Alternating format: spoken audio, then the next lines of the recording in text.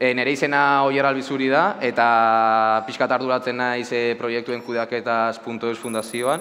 Eta orokorrian hemen zauzien danok ezagutuko zue .eus, e, e, pixkat garelako .eus interneteko domeinua kudeatu eta zaintzen dugun e, erakundea. Gu gara irabaziaz mori gabeko fundazio pribatu bat, eta fundazioa izan eran, ba, ditugu patronatuan e, kidez berdinak, ez? Hor ikusten duzu alde batetik handauz Euskal Hizkuntza eta Kulturaren arloko erakundeak, e, sektoro, sektore teknologiko kordezkariak, eta bebai dakagu beste eragile batzuk. Gaur garkoz fundazioan lendakaria da Iñaki Goirizelaia eta da EHUren ordezkaria. E, nik uste dut, bueno, hemen haber ingo dugu pixkate probatxo bat zeinek ezagutzen zuen punto domeinua, edo baldin badau norbait e, domeinua ezagutzen ez da bena mese saltzau eskua. Norbaitek ezagu ezagutzen punto eus domeinua. Ez ez, orduan, bueno, prinsipioz, nik uste dut ja amar urte pasau direla lehengo punto eus domeinua zareratu zanetik, eta zer da punto eus? Ba, punto eus da Euskara eta Euskal Kultura, interneten eta ingurune digitalian ordezkatzen da ben lehen mailako domeinua. Eta orduan guk uste dugu edo bueno, ez esaten duguna da punteuz dela tresna bat euskara beste hizkuntzen parian e, interneten jartzeko edo horretan alegina itzeko e, tresna nagusia. Punteuz domeinu bat erabilializateko e, bi baldintza hauetako bat bete behar da e, gutxienez, webgunea euskera egotia eta euskeraz ez baldin badau ba, gutxienez erreferentzia minimoa bat euskarari eta euskal e, kulturari. Gure erakundean ikuspegia da Euskal Gizarte Digital hobe bat e, bilatzen saiatzen gara, Euskaratik kohesionatuz, segurtasuna indartuz eta inklusioa sustatuz. Eta e, ikuspegi honekin e, helburu baten bila gabiz eta helburu hori da punto domeinua nagusi izatia Euskararen lurralde digitalian e, aipatu dut, ez, .eus domeinua dela gure tresna nagusia, eta domeinua hitz egiten ari garenean, bebai gabe hitz egiten domeinuen izenen sistema, edo inglesez Domain Name System e, delakoa. Domain Name System John Posteleke asmatu zeban e, duela ja desente urte, eta zer da, bazkenian jakingo zuen bezala, e, gure garuna ez da gai, interneten dauzen helbideak e, buruz gogoratzeko. Hemen dakagu adibide bat, eta horre ikusten zuen, laro bost, egun da berrogeta meretzi, berreunda mar, punto, irurogeita mar da interneteko IP helbidea, eta IP helbide hori dagokio iru e, webikoitza adibidea.eus e, webguneari. Orduan, guk izaki bezala, inbar dugun gauza bakarra da, izen hori gogorau, eta izen horrek trukian voltatzen diguna da IP helbide hori, eta orduan webgune bat edo bilatu dugun hori. Eta azkenian, bat DNS sistemak hori itxen dago, ez? Ordezkatzen ditu zenbakiak, e, edo ipelbideak, ba, letrak eta izenen gaitxik. Eta hori da pixka domeinu baten funtzionamenduan ari garenean, ez dauze domeinu guztiak ez dira igualak eta kategoria ezberdinak ditugu. Generikoak dira ba, .com, .net, .info orokorrian urtegien dituztenak eta gizartian ezagunenak, ditugu bai e, herrialdei dagozkienak, ba, .es da Espainiakua, .fr frantzesa, .uk da e, United Kingdom, eta gero ditugu domeinu berriak, eta hor sartuko zen .eus, e, justo duela amar urte sortu baitzen e, .eus domeinua, edo zareratu zen, lehenengo .eus domeinua. Domeinuen sektorian inguruan hitz egiten jarraituz, gaur egun ikus daiteke .com hementxe eskerrian dala mundu mailan gehien erabiltzen den edo gehien erregistrauta dauen domeinua, baina pixka joera aldatuzkun azken urtietan, eta ikusten dugu hor e, beste grafiko horretan .com eta .netek batera munduko domeinuen erdia e, dakatela gutxi gora bera, edo pixka gutxio, baina hemen ikusten dugu e, domeinu berriek bai bere leku hartu dutela, ze gaur egun domeinu bat erregistratzelako orduan, erabiltzaileek gauza asko hartzen dituzte kontuan. Eta erabiltzaileek nahi dute bere burua alik eta hobetuen egotia horrezkatuta interneten eta ingurune digitalian. Ordan ba, .com edo .net edo generiko horiek aukera hobiarrian, ba, beste domeinu bat aukeratzen dute, hemen badakagu .eus, e, Espainia bai dakagu beste domeinu bat, ba, .gale, Galizian, .cat, Katalunian, eta bai dauz beste domeinu asko, ba, erabiltzaia bilatzen da belako, ez, alik eta hobetuen e, identifikatzen dana edo ordezkatzen da bena ingurine digitalian. Piskat Euskal Herrira etorrita hau da gaur egungo mapa, e, 2008ko datuak dira, eta 2008 bukaeran Euskal Herriko domeinuen sektorean .eus laugarrena da, gaur egun dauz, amalau mila sortzireun da lau domeinu erregistratuta .eus, Eta ikusten duzu aldia nabarmena dala ez, ba, .com eun milatik gora dau, eta .es gutxi gara bera irurogi mila. Baina, bueno, poliki-poliki bagoa zazten, eta azken amar e, urtietan lortu dugu .eus laugarren lekura eramatia. Ikusten duzu, .netetik neko gertu gabizela, ba, mila domenio inguruko bueltan, eta bagoaz poliki-poliki e, goraka. Eta e, DNS sisteman inguruan hitz egin dugun, eta pixkate zibersegurtasuna e, zentratzeko, e, pixkatez, gaurko jaurunaldia horretan zentratuta dauelako, e, DNS sistemak e, abiuz kasuak e, jasotzen ditu eta bost kategoria ezberdin dauz. Azkenian, DNS sistema e, ingurune digitaleko beste tresna mota da, eta orduan ba, e, ingurune digitaleko gauza guztiak bezala, ba, risku hori daka, ez? Eta bost DNS abizu kasu ezberdin dauz, izan malwarea, botnetak, phishinga, farmina eta spama. Orduan, phishinga, suposatzen dano jakingo zue zer dan, baina da e, e, pertsona bat edo erabiltzaile bat engainatzen saiatzia bere datu sentiberak edo pertsonalak eskuratzeko helburuakin. Eta gero malwarea da software maltzur bat instalatzen dela erabiltzaile baten gailuan, ba bertan e, eraso bat emateko. Eta mentxe grafikoa pixkate bai da zanguratsua, da 2022ko maiatzetik 2024ko txaiera arte, eta bertan ikusten dugu laranjaz dira phishing kasuak, eta urdinez dira malwerrak. E, nola mundu mailan ba, phishinga askoz e, oikoa dela e, malwerra baino. Eta gero, eraso hauek pixka domeinoetara ekarrita, guk identifikatzen, digu, e, identifikatzen ditugu bi e, plano motaz berdin, bat da e, domeinu malturak edo malicious, eta hauek dira helburu malturekin sortutako domeinu bat, ba, dibida zatziaren, ez? Osakidetza.eus da eusko jaurlaritzak kudeatzen daben e, domeinu bat, eta nik erregistratzen badot osakidetza.com eta erabiltzen badot erabiltzaile bateri SMS bat bidali eta bere datuak lapurtzeko, ba hor nabil, ez, domeinu maltzur bat erregistratzen, helburu maltzurrekin e, sortua. Eta compromised edo domeinu komprometitu izango litzateke, domeinu bat erregistratu da helburu honekin edo proiektu bat garatzeko, eta mota bateko edo beste bateko eraso bat jasan dau, eta domeinu hori izan da e, komprometitua. Orduan, e, grafiko honetara itzuli, hemen dakagu 2022ko maiatzetik e, aurtengo txairarteko datuak, eta ikusten dugu zelan erregistratu ziren domeinu e, maltzurrak e, askoz gehiago erasotuak izan zirenak baino. Eta hobe bai bada pixkat esanguratsua zentzu horretan. Pixkatatzera e, junda, ez dakit aikan ezagutuko zuen, ez dut e, pentsatzen, e, aikan da e, mundu mailako nazioarteko erakunde bat, eta aikanen helburua da internet bat eta bakarra eta internet e, seguru bat e, bilatzeko lan eitzen dago. Eta aikanek hilabetero, ateratzen da txosten bat, nun identifikatzen ditun e, mundu mailan hilabetero e, gertau diran e, abusu kasuak edo eraso kasu horiek.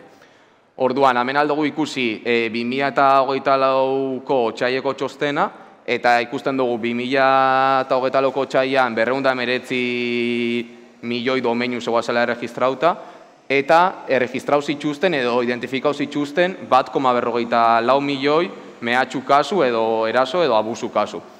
Berez, portzentaia ikusten badozue, neko bajua ematen dau, dala eguneko 0,irurogeita zei.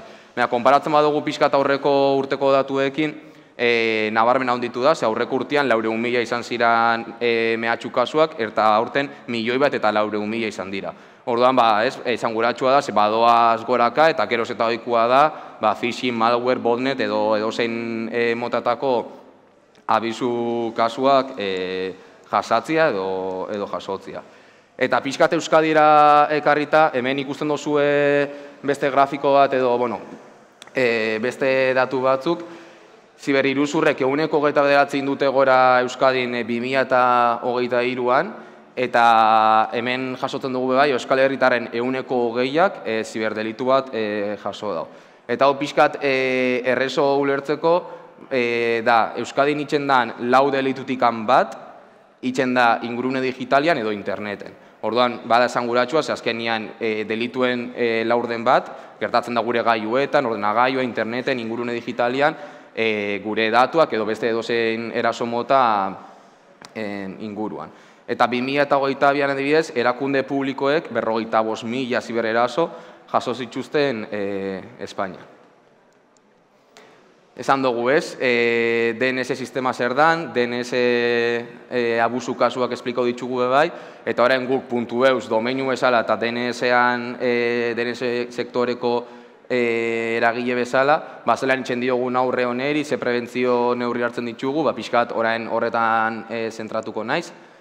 E, puntu eus da berrikuntza eta segurtasuna batzen e, ditun puntua, Eta pixkat, e, karri nahi izan dizuet testigantza bat, e, Bruce Schenner adituak esaten dau, zarritan galetzi dutela berari, zelan, aldaben, zelan aldan bermatu gaiu digitalen edo interneteko segurtasuna, eta berak esaten dau, ez? E, bere lehen erantzuna da, ez zebez, ez jodido edo, edo izorratuta zauz, esaten dau.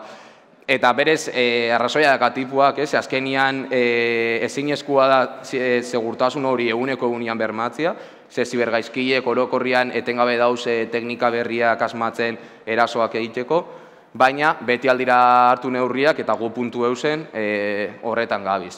Eta zelan, bale, lehen gota behin dakagu aliantza eta partner ezberdinak bai Euskadiko eta bai nazioarteko e, eragile edo erakunde ezberdinekin, lehen gota behin dakagu hitzarmen bat e, ziberzaintzako e, erakundeakin, uste lehen goizian egon dela bai hemen e, hitz egiten, zaibazkekin be bai, e, izenpekin be bai, eta gero gaia klasterran e, be bai. Eta gero, nazioartera jota, lehen aipatu duten aikanen eragile aktibo bat gara, eta Global Cyber Allianceen eta Internet Watch Foundationen bazkide bai gara. Orduan, lehenengo eta behin ez, pixkat e, logika horretatik e, guk norbanako bezala, delakunde bezala, e, eragiteko gaitasun jakimat aldugu euki, baina aliantzakin eta partner ezberdinakin bagai gara gauza gehiago itxeko edo jende ezberdinen gana heltzeko. Orduan, pixka lehenengo eta behin lehenengo neurria logika horretan da, lan, lankidetzak eta partnerren aliantzak, eta gero, ja pixkate tekniko agora jota, e, gukitzen dugu lan iru planotan. Hor, e, e, azierako filetan lagai zueten txostenian azalduta dau, baina gukitzen dugu lan e, prebentzioa monitorizazioan eta zuzenketan bebai prebentzioan azkenian guk saiatzen gara DNS abuse kasuan ba baino leno hori prebenitzen edo hori baino leno lana egiten eta horretarako lehengo ta behin hezkuntzan dakagu proiektu bat e, gaztienengan webgune garapeliak eta bat bidez ba zibersegurtasun inguruko gomendioak eta e, kontzientzia hori sortzeko eta gero dakagu trena, tresna ezberdinak e, direla hiru kasu honetan eta erresa dira ulertzeko eh. Lehena izango zen Global Block, eta Global Block da sistema bat blokeatzen ditula gainontzeko domeinuen erregistrazioa. Hau da, lehenko adibidekin jarraituta osakietza.eus domeinua. Nik erregistratzen badut osakietza.com domeinua eta erabiltzen baldin badut jendiari SMS-ak bidali eta beraien datuak e, lapurtzeko azkenen eraso bat itxen nau. Eta hori prebenitzeko gukitzen duguna da olako erakunden eta olako domeinuen gainontzeko domeinu guztiak blokeau. Orduan ja erabiltzaile batek ezin dago erregistra osakietza.com, osakietza.net eta orduan eraso horiek itxia, ba prebenitzen dugu edo aurre hartzen diogu, ez? Eta blog.es antzerakua da, baina e, ez da guztiz berdina. Hau da gehiago aldagaien kontuakin. Osakietzan adibidean jarraituta, zuk osakidetza.eus ezin dozu erregistra, ja erregistrauta da, eta eusko jarraritzena da. Orduan, baina nik adot erregistra osakidetza biharrian eta o biharrian e, zero batekin. Eta erabiltze dut e, domeinu hori, e, zerua dakan e, domeinu hori eraso bat itxeko, eta ni baldin bada mobiak, eta ikusten baldin badot SMS hori, segurazki nien eskonturauko hori ez dalago bat, baizik eta zero badala. Orduan, aukera handia da honi e, link horretan sartu, eta segurazki nire e, datua lapurtuko izkidate.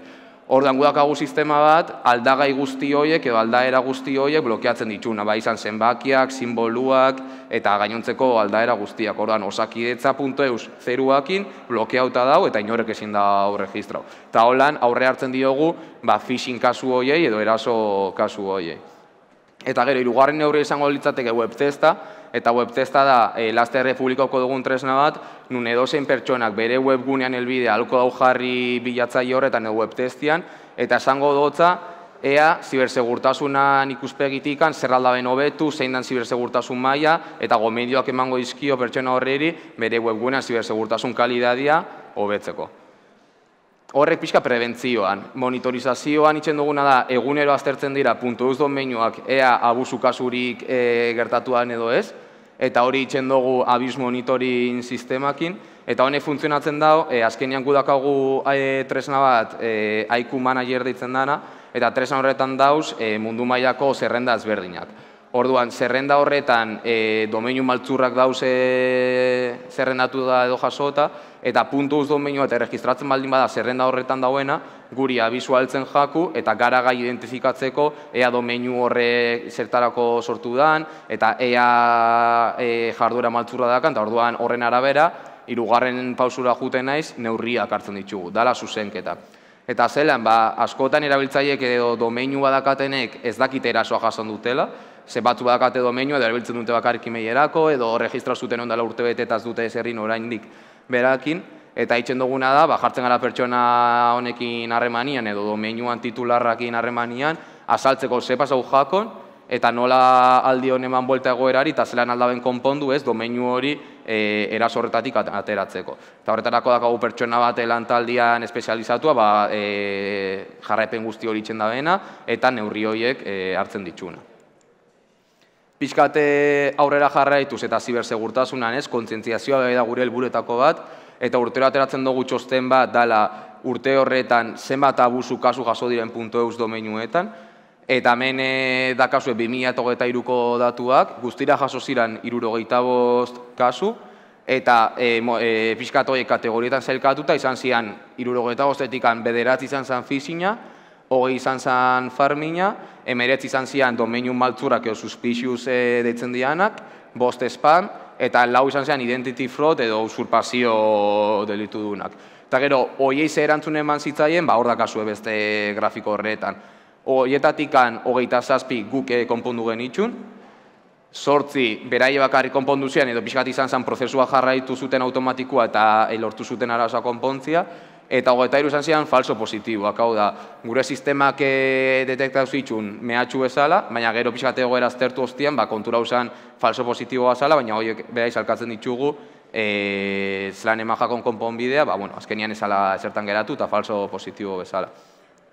Eta hemen nekarri zuete beste testigantza bat, e, graen bat honek esan dakua, dala DNS Abius Institutuan zuzendaria, e, bera etorri zen aurrek urtean e, donostira guri e, bizita bat itxera, eta pixkate berak esaten dago, ez azkenean punto eus bai dala domeinu bat, e, orokorrian domeinuen sektorean bat azbestekotikan e, gainean, e, gainean dauela, ez? eta bai jarri ditugu estandar batzuk edo oinarri batzuk gainontzeko domeinuetako askok oraindik ez dituztenak edo direla heldu jartzera. Eta orduan pues bagarela pixka referente e, kontu honetan. E, eta pixkate, bueno, aurkezpenakin bukatzen juteko, kontzentziazioan lan itxen dugu zibersegurtasunian gaztienengan e, alik eta e, eragiteko gaitasun handien aukitzeko, eta horretarako dakagu kaixomundua.eus proiektua, Proiektu honen helburua da gaztien artean kompetentzia digitalak sustatzia eta horretarako bazkenian ba, nahi duguna da gaztia kontsumitzaile digitalizatetik sortzaile digitalizatera pasatzia. Gaztiaen agnibar nezkenian gara natibo digitalak ez gu gara ordenadoriak, imobiakin, mea gero ez gara gai webgune bat sortzeko, da aplikazioa sortzeko, ez balin badakazu horren ikasketak. Eta arazo horretaz jabetuta sortu genuen proiektu hau, eta azkenian da webguneen garapen lehiaketa bat, DBH, batxikiar eta lanbide ziketa gaina uste dut hemen zauzienak danak lanbide ziketakoa sariela, ba, ikaslientzako. E, guk e, ikasliei eskaintzen diegu baliabide guztiak, domeinua doan, zerbitzaria doan, eta zuek ikasliek sortzen dozu e, webgune bat e, zerotik. Eta gero azkenian lehiaketa bada, eta kategoria bakoitzean e, irabazleak eta finalistak izendatzen dira. Eta pixkat azken urtietan arazoaz jabetuta, jasotzen ditugun webguneak kalitate honekoak dira, baina askotan ez dira izaten oso seguruak edo ez dute kontuan hartzen zibersegurtasunan inguruko ezaugarri batzuk. Ba, ez dute respetatzen kukien politika, privatutasun politika, ez dakate SSL ziurtagiria eta beste bat kontu. Ordan gu bai nahi ditugu ikasleen webgunea, nahi ditugu ikasle webgunea sortzia, ma ez dugu nahi webgune hauek edo zen modutakoak izatia. Eta horretarako zibersegurtasuneko e, bideotutorialak badakagu, eta datozen urtietan e, jarraituko dugu horretan lanian pixkat honetan esakontzeko. Eta Bai dakagu e, beste bideo tutorial guztia, ba, pixkat webgune bat zelan sortu zerotik e, laguntza eskaintzeko ikaslei eta bai irakaslei. Irakasle bai dakate gida bat estingaitasunen eta kompetentzien inguruan eta webgune bat sortzeko gide bat bai dakate. eta edakau bai unitate didaktikoa, ba, pixkat irakasle laguntzeko e, proiektu hau ikasgelan txertatu eta ima katalogoan ziurtagiria bebai badakate unitate didaktikuek. Esan bezala lehiaketa bat da, eta urtero irabazleak eta finalista da, DBH batxillerrien eta lanbideziketan, irabazliek garaikurra eta errealitate virtualeko betorreko bana jasotzen dute, finalistek e, gauza bera baina garaikurri gabe, errealitate virtualeko betaurrekuak, eta diploma jasotzen dute parte hartu duten ikastetxe, ikasle eta irakasle guztiek. Eta pixka eta azken edizioa bukatu genuen duela hilabete terdi, e, parte hartu zuten Euskal Herriko berrogeta malau ikastetxek, berreun dago webgune entrego zituzten, eta guztira mila irureun dago eta malau ikaslek hartu zuten parte. Eta zan dagoa, pues, bai webgune asko dira, ez? urtero berreun dago webgune sortzia webgune asko dira, baina ez ditugu nahi edo zemotatakoak izan, eta orain pues, jarraituko dugu hor pixkal lanian, zibersegurtasuna hobetzeko gaztieren gan kontzentziazioa indartuz. Eta, pues, pixka eta hau izan da nire aurkezpena, ez dakit azkar juna izen edo, edo zer, orduan, bueno, edo galdera dakazuela bota orain lasai, eta bestela, pues, emendikan ibiliko gara gero bai, eta harrapa hau segundo bat. Eta hori.